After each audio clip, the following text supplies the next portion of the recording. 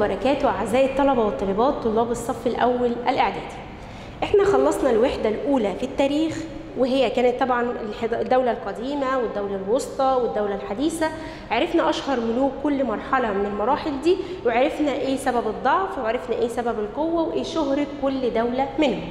هنبدأ في وحدة جديدة وهي بعنوان من روائع حضارتنا.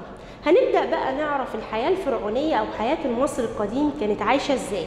سواء في المجال السياسي أو الاقتصادي أو الديني ده في الترم الأول. في الترم الثاني هنعرف الحياة الاجتماعية والحياة الثقافية. هنبدأ أول درس في الوحدة بتاعتنا النهاردة وهو بعنوان الحياة السياسية. طبعا هعرف إيه في الحياة السياسية؟ أهم حاجة أعرف يعني إيه حياة سياسية. حياه سياسية يعني نظام الحكم والإدارة اللي كان موجود في الفترة دي. يعني مين اللي كان بيحكم؟ مين اللي كان تحت الملك أو الفرعون اللي كان في المرتبة الأولى؟ كان إيه مهم كل طبقة فيهم؟ يبقى ما المقصود بالحياة السياسية هي عبارة عن نظام الحكم السياسي الذي كان يوجد في الدولة الحكم والإدارة. طب قبل برضو ما أعرف الحياة السياسية والحضارات بتاعتنا والكلام ده أنا عايزة أعرف إيه هي العوامل اللي ساعدت على قيام الحضارة العريقة دي اللي هيطلق عليها الحضارة المصرية القديمة؟ لازم أعرف إن أنا عندي بعض الموارد والأشياء الطبيعية اللي ساعدت على إن حضارتنا بتاعتنا أو الحضارة المصرية القديمة دي تبقى من أشهر الحضارات على مستوى العالم. طبعا إحنا عارفين إن الحضارة بتاعتنا بتمتلك نهر النيل اللي ساعدنا طبعا على الانتقال من مكان إلى آخر الموقع المتميز المناخ المعتدل غير كمان الإنسان المحب لوطنه. هنعرف الكلام ده بالتفصيل دلوقتي.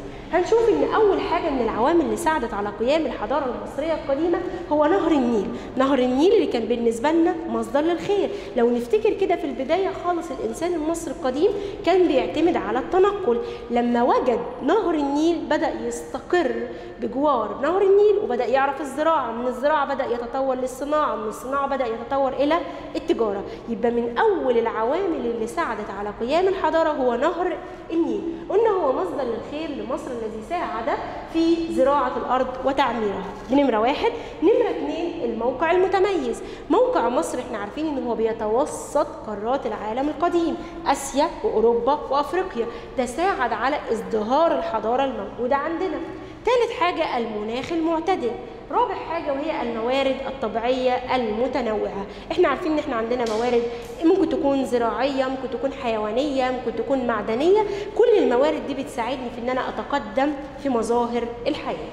طيب غير كمان إنسان محبا لوطنه حيث استطاع المصري القديم أن يستغل كل ما هيأه الله له في قيام الحضارة. يبقى أنا عرفت كده عندي كام عامل بيساعد على قيام الحضارة؟ قلنا نهر النيل قلنا الموقع المتميز قلنا المناخ المعتدل قلنا إنسان محبا لوطنه قلنا إيه كمان؟ قلنا الموارد الطبيعية المتنوعة. خلاص كده؟ طيب نرجع لمرجوعنا تاني وهو الحياة السياسية. يعني إيه حياة سياسية؟ يعني نظام الحكم والإدارة أو نظام الحكم والسلطات المختلفة. يعني إيه؟ هنوضح في الجزئية اللي بعديها. يعني كانت الحياة السياسية عندي بتنقسم إلى أكتر من طبقة. طبعا الطبقة الأولى اللي هي بتكون الحاكمة. مين اللي كان بيحكم في الحياة المصرية القديمة؟ كان الفرعون أو بين قوسين الملك. ثم بعده الوزير. ثم حكام الأقاليم. ثم الإدارات المركزية. بالظبط بالظبط بنشبهها زي موجود حياتنا الطبيعية اللي إحنا عايشين فيها دلوقتي. أول طبقة عندي هيبقى رئيس الجمهورية بعديه الوزراء اللي هو الوزير عندنا في الحياة المصرية القديمة ثم حكام الأقاليم اللي هو بمثابة المحافظين عندنا ثم الإدارات المك... ال... ال...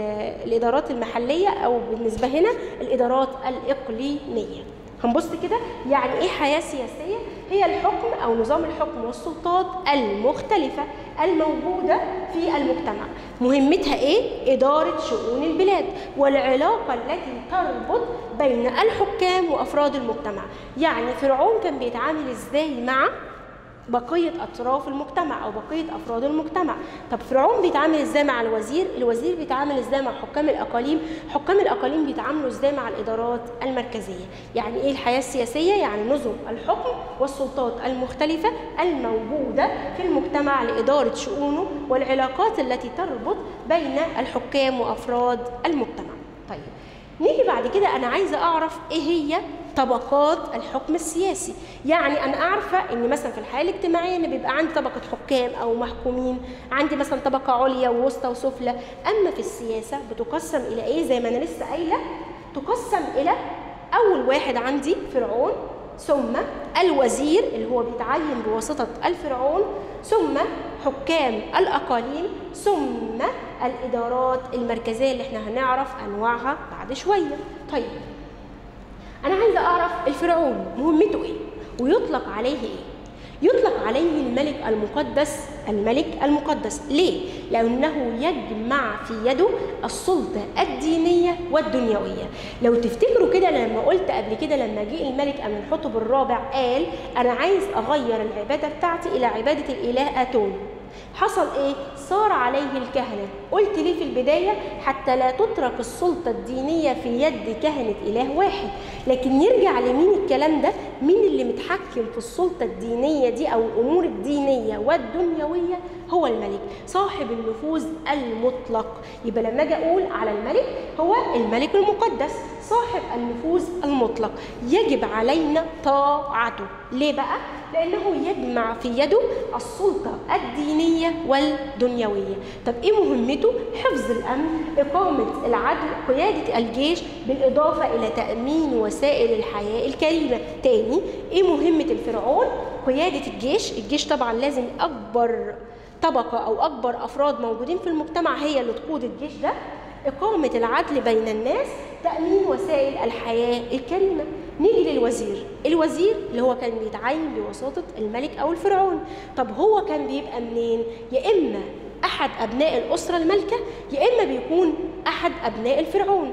تاني هو بيكون منين؟ يا إما بيكون من أحد أبناء الأسرة المالكة يا إما أكبر أبناء الفرعون. طب مهمته إيه؟ طبعا نتيجة كثرة الشؤون بتاعة الملك بدأ يختار حد يساعده في إدارة شؤون البلاد. اختار مين؟ الوزير. الوزير ده زي ما قلت لكم لازم يا إما بيكون أحد أبناء الأسرة المالكة يا إما أحد أبناء الفرعون. طيب ليه مميزات وصفات؟ زي مثلا العلم الأخلاق الحسنة زي مثلا حسن السيرة زي مثلا إقامة العدل برضو بين الناس. هنقول زي السيرة الحسنة زي العلم زي العدل زي الخبرة الواسعة زي حسن التصرف. عرفت كده إن هو بيعاون الملك في حكم البلاد وبيترأس الإدارة المركزية بيترأس الإدارة المركزية. حكام الأقاليم. طبعا إحنا عارفين إن في البداية إن مصر كانت مقسمة إلى أقاليم. كان لكل إقليم حاكم. كان لكل إقليم حاكم. لكل الحاكم دول أو كل حاكم من حكام الأقاليم كان ليه مهمة معينة. زي مثلا خزن الغلال أو تخزين الغلال زي مثلا حفظ الأمن زي حفر الترع كان من مهمة حكام الأقاليم. هنلاقي إن تحققت وحدة البلاد عرفت في مصر نظام الإدارة المحلية. حيث كان لكل إقليم زي ما قلت لكم حاكم مستقل. طيب بعد تحقيق وحدة البلاد أصبح حكام الأقاليم ده بيعين بواسطة الملك. يبقى الإدارة المركزية أو حكام الأقاليم دول مين اللي بيختارهم؟ الملك زي ما برضو بيختار الوزير. خلاص كده لكن مين اللي بيترأس الإدارة المركزية؟ هو الوزير. يعني مين اللي بيحدد الإدارات وبيحدد مين اللي يشتغل فيها؟ الوزير. طيب قلت مهمته إيه؟ حفر الترع تخزين الغلال حفظ الأمن الإدارة المركزية اللي أنا قلت عليها آخر طبقة موجودة عندي في الحياة السياسية عندي بقى إدارة إيه؟ عندي إدارة الوثائق الملكية دي مهمتها إيه؟ حفظ الوثائق أو المراسيم الرسمية التي يرسلها الفرعون إلى الوزير تختص بأمور ومراسيم ملكية ثم إدارة النسخ والمحفوظات. دي بتهتم بإيه؟ بالمحفوظات والرسائل برضو اللي موجودة عندي حفظ الوثائق والمخطوطات. أما الحقوق أو إدارة حقوق الحقول دي كانت مهمتها إيه؟ شؤون الري والزراعة. تيجي للخزانة دي مهمتها الموارد المالية. أما القضائية أو القضاء دي مهمتها الإشراف على المحاكم.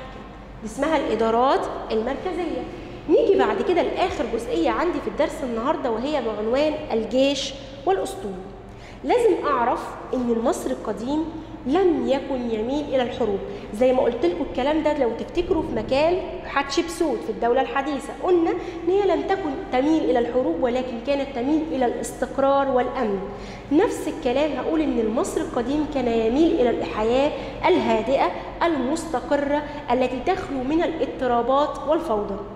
ولكن عندما فكر بعض الغزاة أن يطاردوا أن يطاردوا المصريين أو يطاردوا الحكم المصري فبدأ إن هم يفكروا إن هم يكونوا حاجة تأمن لهم الحياة الكريمة تبدأ تؤمن حدود الدولة تبدأ تحميني من أي عدو تبدأ تساعدني في إن أنا أكون إمبراطورية.